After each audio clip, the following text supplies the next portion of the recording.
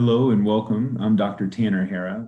I represent the Riverside University Health System orthopedic program. I'm here to give a presentation on the total joint arthroplasty and give an introduction as well as kind of explain what it means to have a total joint as well as the postoperative protocols. This is basically an instruction manual. You'll see the names below are the orthopedic surgeon and staff members that are involved with your care here at Riverside. So let's get started. First off, thank you for attending. This is an introductory course to the total joint replacement. We also discuss a little bit about physical therapy, discuss the PACE experience, as well as have some concluding remarks, including uh, answering commonly asked questions. So what is a total joint arthroplasty? Basically, arthritis is comes from the Greek word arthron, which is joint, limb, or articulate. And itis means inflammation. Joint inflammation is results in cartilage destruction. Arthroplasty, which comes from the Greek word arthron, again meaning joint, and placid, again meaning to form, forge, or remake. So we're essentially remaking or reforming your joint. As you see in the picture above, the femur bone is the top bone, the patella is the bone in the front, well the tibia bone includes the lower leg. So this demonstrates that the inflammation of these cartilaginous structures ultimately results in what we term arthritis. So pictures are common. Uh, of the left demonstrates severe arthritis. That white, uh, curly, normally um, appearing structure on the left picture has been destroyed and now demonstrating some subchondral bone and significant wear. So the picture on next to that is a total joint replacement. That's where we resurface or take away that bad cartilage and replace it with our prosthesis. The same goes for a total hip. We replace the cartilaginous destruction with our metal prosthesis. And we additionally have uh, the opportunity to have a shoulder replacement. And this is it goes along for the same thing. The cartilage is destroyed and we essentially resurface or replace that area. So again, Arthritis is a big deal. One in five adults have it. It's the main cause of disability among people over the age of 55. There's different versions of arthritis osteoarthritis, inflammatory arthritis, and secondary arthritis, but all of which leads to pain. 1.2% of the gross domestic product for arthritis, and this is increasing. 1 million total knee arthroplasties occur every year, 427,000 total hip arthroplasties occur every year. 67 million adults by 2030 will have arthritis. By 2030, they say the demand for the primary total hip arthroplasty is estimated to grow by 174%, and the total knee is estimated to grow by 637%. So you aren't the only one suffering from this debilitating disorder or disease, um, but we're happy to hear to help and alleviate your problem. So this is your investment. You're investing your time. You're investing your time in the hospital with us. You're investing your time to heal, to rehab, and then to follow up. You know, there's the financial burdens of, of this as well. You know, you have your car, your house, your education. You're here for the total joint program. We're going to talk about the risks and benefits later. And then additionally, the permanency. After this procedure, you can't go back. We can't put back that cartilage that we do take away. The return, it's one of the most successful beneficial interventions of mankind that we have created. And it's the best treatment that we know for arthritis. It's amazing uh, seeing the outcomes and the ability to resolve disability secondary to people's arthritis. So, what are our goals? So, there's really no cure for arthritis. We currently aren't good at uh, regrowing cartilage. Uh, stem cells are unlikely to be uh, in our lifetime you know, it all starts with an inciting event, the final domino, we often refer to it. So, arthritis is a long term background problem, and then patients will often complain of a trauma, a twisting injury, or something happened. And then since then, they can't go back. They continue to have pain in their knee. It never improves. So, the goal of any treatment is to get you back to activities of daily living. Treatment options for arthritis there's non operative and operative. So, we start with the safest and work our way and progress ourselves up the ladder. And it's a trade off as we increase risk. So, first off, we can do nothing. And we would consider that if there's significant comorbidities or significant medical problems that warrant that any uh, any medical management would be inappropriate. Next, we can do activity modification. That can begin with just simply resting. There's different types of exercises, such as swimming instead of jogging, weight management, avoiding any painful activities. And then, as well as there's DME, which is knee bracing and, walkers to help with uh, alleviating the pain of the knee. Next, you can try physical therapy. There's joint protection, exercises uh, that can strengthen specific muscle groups around the knee. There's increased proprioception. And then range of motion uh, can help flush out the inflammatory products and actually uh, bathe or nourish the cartilage uh, of the knee or the hip or the shoulder. Additionally, the next step we can try are injections. Those include corticosteroid injections or as well as hyaluronic acid. Uh, this is a process from the rooster comb. And right now, we're not showing that it actually helps uh, patients. Uh, it's uh, very equivalent to what we call the placebo effect. The next thing we can try are medications. There's the non-steroids, the anti-inflammatory medications. We call them NSAIDs, uh, but they do have risks. We can also try steroids. That's uh, we can try to help calm down that inflammation. Again, those have risks. There's the nutraceuticals, the uh, glucosamine chondroitin, MSM, uh, acupuncture, and then of course narcotics, which uh, the academy has come out and not warranted the use of opioid-based medications for the management of arthritis. And then there's the myths out there, the commercials that we see on TV, the copper bracelets, the magnets, the traction. None of this has shown to be beneficial truly in the management of arthritis and pain of arthritis. So what about operative options? Arthroscopic surgery, you know, it doesn't help with arthritis. It's one where we take the camera and go in and basically clean out the knee, clean out the uh, inflammation, and it's just shown to not have uh, good outcomes in the recovery. So for the knee, there's three compartments of the knee. There is the option of just doing a unicompartmental knee arthroplasty versus a total, which would include all three compartments. The hip, you can do a hemiarthroplasty, that meaning just replace the femur component, versus a total hip arthroplasty, which would mean to replace the acetabulum or the pelvis component as well. So the goals of this would be ultimately to relieve pain. Secondarily, it would be to restore alignment and stability and then maintain motion or retain motion. So the total knee arthroplasty, I'm going to go over the specifics of this. You often hear this in the medical slang shorthand. There's total knee arthroplasty, TKA, TJA, total knee replacement, total knee, total joint, total. Uh, what it is, it's not a new knee. It's more of a resurfacing, essentially like a cap on a tooth, a new tread on a tire. So you'll see the x-rays demonstrated on the left demonstrates severe arthritis of the medial compartment of bilateral knees. And then on the right, you'll see after a knee replacement, not only is that arthritis and that bone on bone contact gone, but the knee alignment is restored to more of a mechanical alignment. So I'm going to show you pictures of what a total joint consists of. Uh, you know, I'm giving this uh, warning just in case you don't want to see it. Uh, just turn away for a second and it'll be over shortly. So basically, the total knee replacement uh, we first make an incision over top of the knee, reflecting the patella, which will then demonstrate the severe cartilage destruction. We then further expose the knee and we take away that uh, destroyed or damaged cartilage, and essentially just that cartilage is removed. Very little bone is actually removed during this procedure, and then we then place our implants over top of that uh, then previously cut away cartilage. So that is the complete total knee prosthesis. Another picture of that as well. The patella component is on the picture on the right. The femur is the metallic appearing uh, component.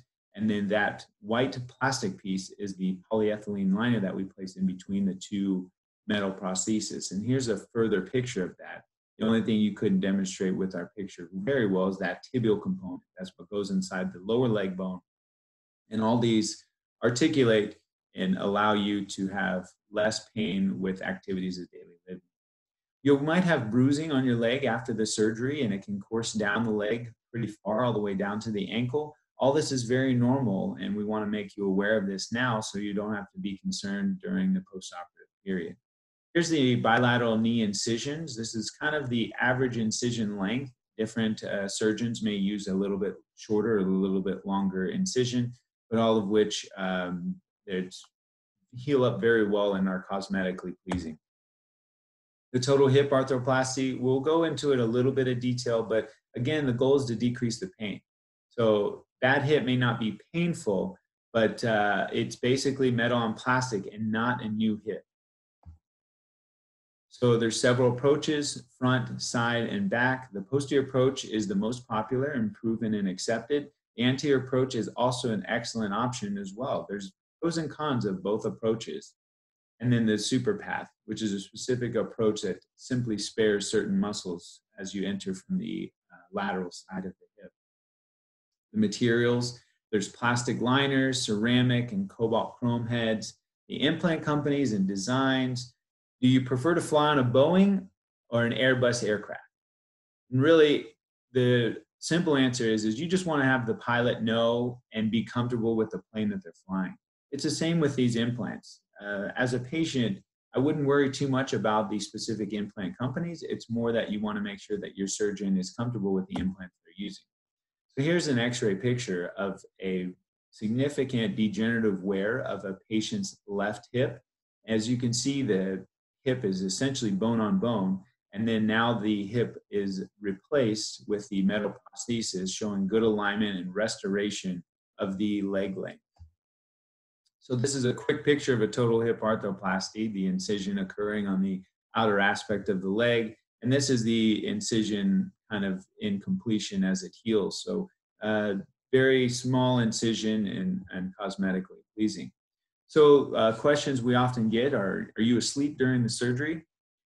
And absolutely through different types of anesthesia, you will be asleep there's parts of it that uh, you may be um, awake, but in a sense that you um, won't have any recollection uh, of what occurs. So uh, we often uh, recommend a spinal anesthesia for primary total joints. Uh, that allows you to have pain control, but then we give you additional medication to give you comfort and make you comfortable. So all of these things you'll discuss with the anesthesiologist. There's the other approaches, such as uh, general, which means we put you entirely asleep and have to use a breathing machine to help you breathe. But have a discussion with your anesthesia department, which you will meet with prior to your surgery to have further uh, ideas of what your expectations are regarding the anesthesia. This is an important slide reviewing the risks of surgery. We want to set the appropriate expectations and have everybody aware of the risks of this surgery. The risks include pain, scar, infection, bleeding, fracture, loosening, dislocation of the hip, numbness, foot drop in hip or total knee patients, wound healing problems, leg length discrepancy, vascular injury, stiffness, allergic reaction, myocardial infarction, CVA, DVT, PE, and component failure. We tell you of all these risks so you are aware, but we do everything we can to mitigate these risks by using our total joint program as well as all the things we do in the surgery and prior to the surgery and even post-operatively we do everything we can to minimize any of these being an issue. Longevity, this is a question we often get. Not counting complications such as a fracture or infection. So the hip replacement survival rate is approximately uh, for 20 years, 80, excuse me, 95 to 98% are still around. For knee replacement in a less than 60, excuse me, greater than 60 year old, 95% survival rate at 20 years. And if you're less than 60, 87% survival rate at 20 years, meaning that uh, younger patients have uh, more activity levels. So essentially they're, they're wearing down the tire a little bit faster and have to have a replacement. Satisfaction. Overall, this is one of the most successful surgeries we can do. So there's no pleasing everyone. So we want to set the expectations, complications, and again, we write in expectations because that we know is the most important thing.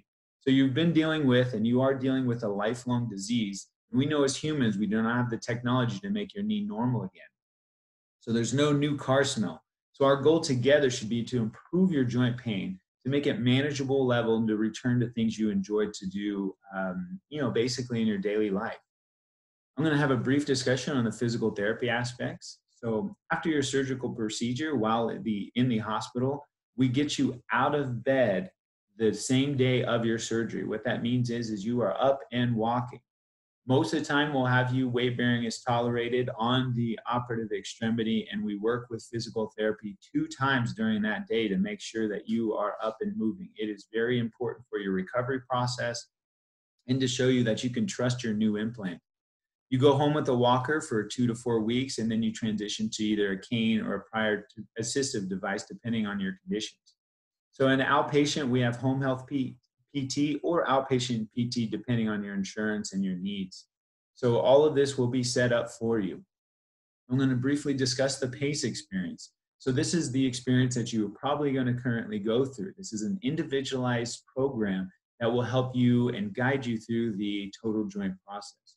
It's basically a roadmap and it gives you um, all the different medical experts that will be involved with your care, including orthopedists, anesthesiologists, and your primary care doctor. Additionally, we'll review nutrition and as well as home medications with you as well. And we have a specific orthopedic nurse that does all these things. So the post-surgical uh, or perioperative surgical home is a patient-centered, team-based uh, system of coordinated care that guides you through the entire surgical experience, from the decision to undergo surgery to discharge and beyond. So early postoperative care, uh, post-op day zero is what we call the day of surgery. Postoperative day one would be the next day after. So you're up out of bed the day of surgery. You stay in the hospital for one to two days. You work with physical therapy every day, and you should plan to go home on postoperative day two. We're often seeing patients go home on postoperative day one too. So just depending on your situations and pain control will all be factors in helping uh, get you home uh, out of the hospital. So we want you to be discharged home. We don't want you to go to a certain facility afterwards, such as a rehab facility. Home is the best place. It decreases your infection chance and decreases the postoperative complications that can occur when you do go home. So a home um, um, nurse is rarely needed. And then we recommend that patients undergo physical therapy here at RUHS versus uh, you can go to another place just depending on insurance. So most patients will attend physical therapy here at RUHS. And then some uh, patients, uh, you're going to go home with some DME. What that means is it's it's like a front wheel walkers or um, different things like that that can help you get around your. In two weeks, uh, you'll follow up uh, before your scheduled surgery.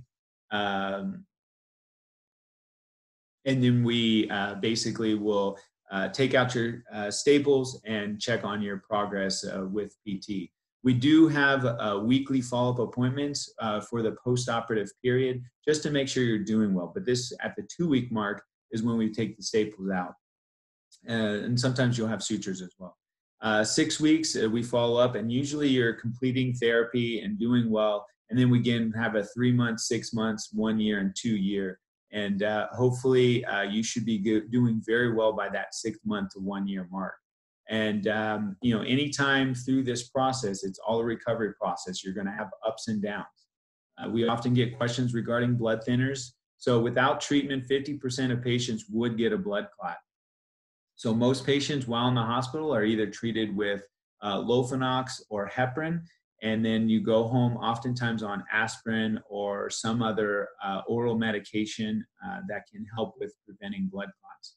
And then the SCDs are squeezing a sequentially compression devices. They basically squeeze your leg, and we cannot emphasize the importance of these things. Your job is to ask the nurses and everybody around to put them on, not to ask them to take them off. They basically have been shown to prevent blood clots in the leg and are very, very necessary uh, for your postoperative recovery to prevent DVTs and PEs. Pain management. So anesthesia will manage and be able to uh, essentially chime in and uh, be a part of the care of you during your inpatient stay. So we want to make sure that your pain is controlled, but we want to make sure that it's controlled safely. So we do offer different blocks and different medications uh, during the surgery and postoperatively to make sure that your pain is as controlled as possible.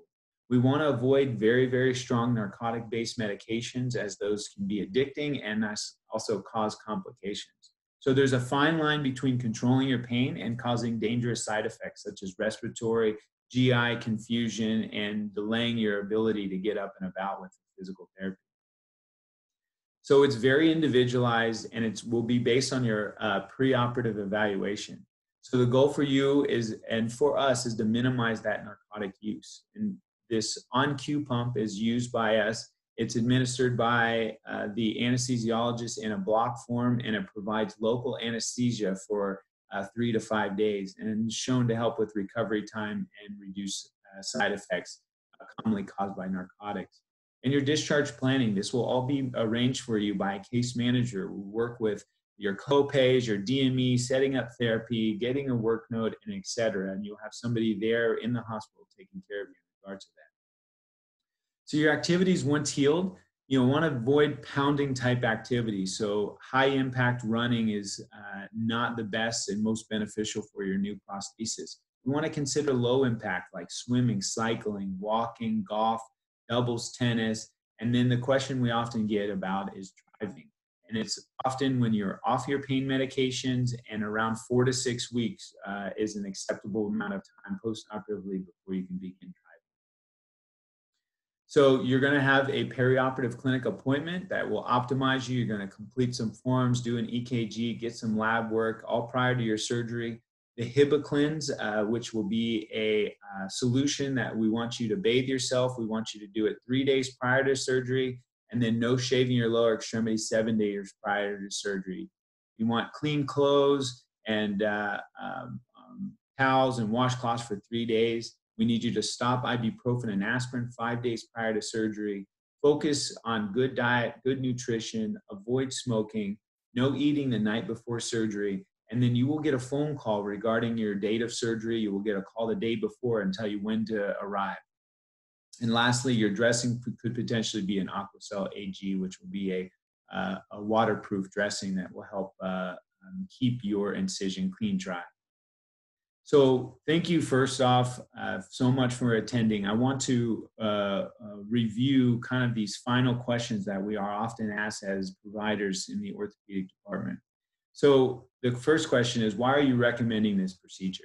So we reviewed all the reasons uh, or the the uh, what arthritis is and the treatments uh, that are available for arthritis. And if your arthritis is significant enough where you have failed all the conservative treatments, then the total joint arthroplasty is the final uh, answer for your pain and will help you uh, restore your quality of life how successful is this procedure? We reviewed the success of this procedure as one of the most uh, beneficial things that we as humans have been able to do. Uh, we have excellent outcomes as demonstrated here at Riverside University Health System as well as elsewhere with the total joint arthroplasty. We've already reviewed the risks that are involved with the surgery. And then will I need any additional surgery after this procedure? So hopefully it's a one and done approach. As long as we avoid any complications, these prostheses can last 20 to 25 years and even longer. And so hopefully there's no further surgical procedure that's needed. We've already explained how the procedure is done, the incisions that are made and what our techniques are. We've already discussed about the anesthesia, whether to do spinal or general will be discussed by your anesthesiologist. And what would happen if I decided not to have this procedure done? Well, the thing with arthritis, it's a common condition it's a chronic condition and it will continue to persist through the rest of your life. So it may wax and wane, meaning it gets better and worse. But ultimately, if you're to the point where it's not getting better, then this is pretty much the time to have the procedure done. Will it be painful afterwards? So we just talked about the postoperative pain regimen that we have been able to create to help with modulating your pain and making sure that you are as comfortable as we can make you through the postoperative period. How long does the recovery take? You're walking the same day of surgery. As far as walking normal without a limp and with minimal pain, you have to be patient with that. Sometimes it can take more like three to six months before you're really walking around uh, the neighborhood and feeling quite comfortable with your total knee. So it is a recovery process, but trust us, it is absolutely worth it in the end. We hear that from patients all the time. And when can I go back to my regular activities? you can go back to your regular activities of daily living approximately around that same time of three to six months of just depending, but everybody's different in their recovery process. So again, I'm Dr. Tanner Hare, and thank you so much for spending your time with me. And I look forward to meeting you as well as all the other uh, patients, and we look forward to taking care of you. Thank you so much.